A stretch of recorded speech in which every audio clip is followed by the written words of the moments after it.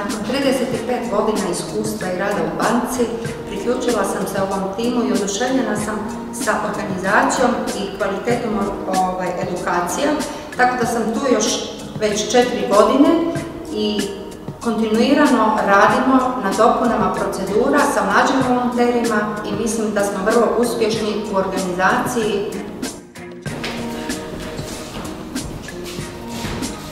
Volontiram već četiri godine u odjelu, a nakon dvije godine volontiranja mentorice su me izabrale da zajedno s njima provodim novi selekcijski proces. E, nakon selekcijskog procesa postala sam mentor e, novim volonterima, što je za mene bilo iznimno značajno budući, kao budućeg pravnika.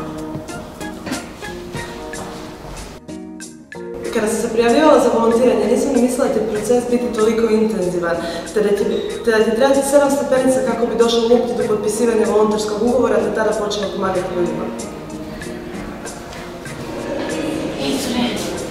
Ne, dolazi moj svjedok, trebamo reći oko to i to, pelje ga gore u sudnicu i onda idemo u. Može? Volonteri su u podršku žrtvama i svjedocima uključeni od samog početka 2011. godine. Naša praksa rada s njima prepoznata je kao dobra praksa na nacionalnoj razini.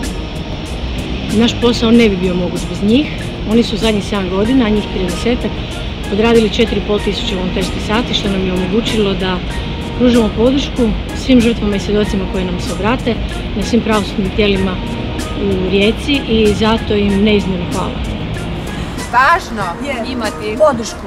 Važno je imati podršku.